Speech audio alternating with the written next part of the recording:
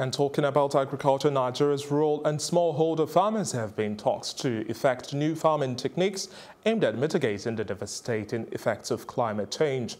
This was as the Action Aid of Nigeria organized an agroecologic ecology field summit, which also trained farmers on modern and more effective farming techniques to help boost crop production. Our correspondent Amadin Uyi tells us more. According to data from the World Bank, agriculture is Nigeria's largest employer of labor, providing the main source of livelihoods for millions of Nigerians.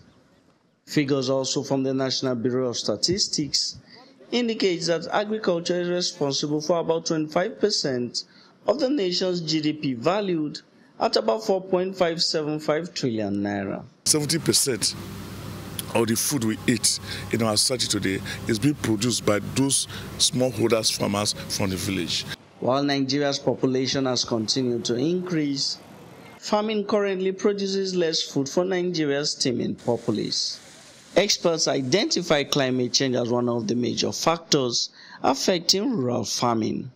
One non-governmental organization, the Action Aid of Nigeria, in a bid to help reduce the effects of climate change on rural farming, commenced an agroecology field summit which also trains smallholder farmers. Nigeria is one of the countries that we are expecting that is going to be more affected by climate change.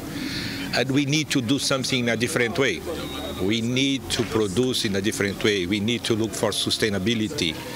And we need to reduce uh, the dependence on external inputs and also prepare our systems for what is, is coming. We in the rural communities, especially women farmers, we've noticed a lot of changes in the environment and even in the rain patterns. We never understand what is actually uh, happening.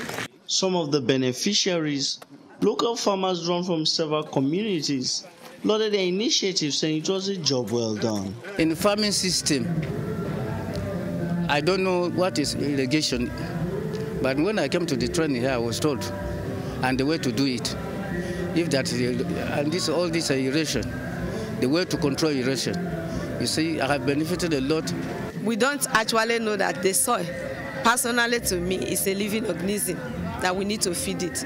From the training we got, I've been able to know that the soil has to be maintained as we are maintaining ourselves. And by maintaining this soil, there are things we needed to give to the soil. We have learned that climate change is real and it is here with us already.